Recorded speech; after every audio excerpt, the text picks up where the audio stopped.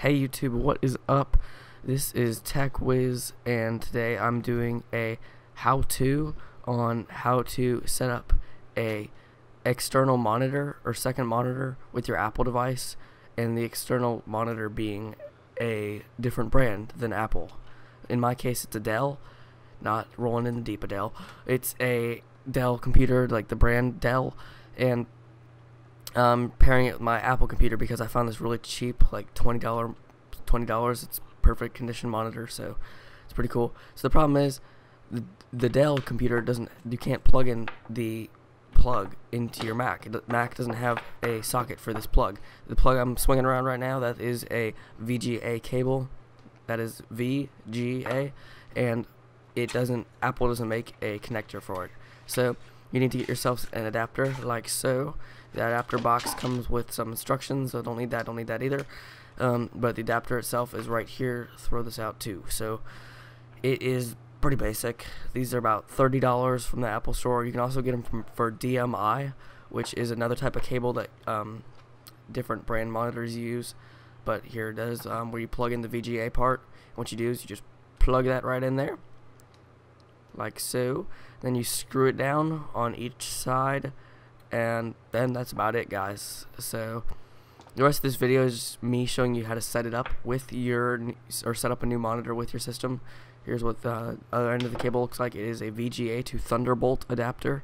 And what you do is you just plug it into that port I just pointed to right there. Like so your screen will flash black for a second or two. Then you turn on your second monitor and there you go. That's pretty much it. That's how you get this monitor set up now when you first set up your second monitor it most likely won't be synced the way you want it to. So you need to go into your settings system preferences go to displays right there. It's a little blue monitor. And then the, you see what you usually see but then you see this new tab at the top called arrangement. Click on that. And when you click on that it'll pop a, a, a new window up on your second monitor. Don't worry about that right now. What you want to worry about is this one on your primary computer. What you do is um, you need to set up your second monitor so that it knows where, where, where your actual Apple computer is placed compared to that monitor. So my Apple computer, as you can see, is to the bottom right of my Dell monitor.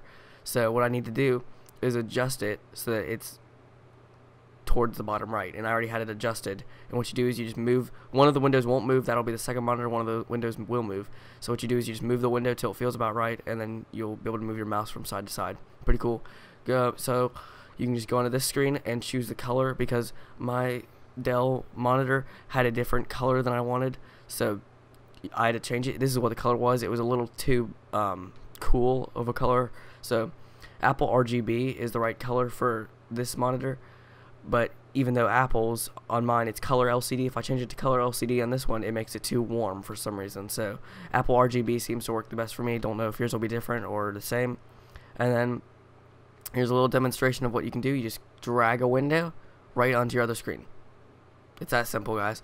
You just drag the window right onto the other screen and if you have Steam or any other gaming system you can probably set it so that you can have dual monitor or be able to have the games open on your second monitor when it's plugged in.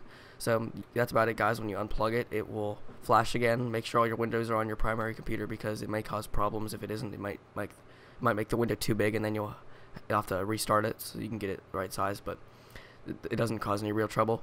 Um, so yeah, like I said, that's about it. It's just a setup of how to set up a second monitor with an Apple computer. And please like uh, this video, uh, subscribe to my channel, and I will see you guys next time. Thanks for watching, and go buy yourselves one of these from Apple right now if you have a second monitor in mind. See you guys.